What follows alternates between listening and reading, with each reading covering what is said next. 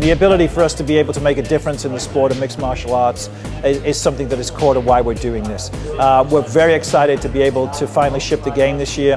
You're going to be seeing a lot, including actual live fights with our great partners at Strikeforce. And fighters like Robbie Lawler, I think, and Bobby Lashley have confirmed that they're going to be fighting there.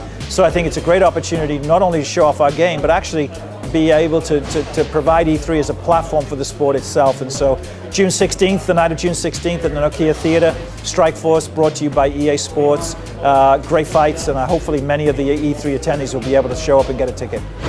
I'm Peter Moore. I'll be at E3. EA Sports. It's in the game. EA Sports. It's in the game.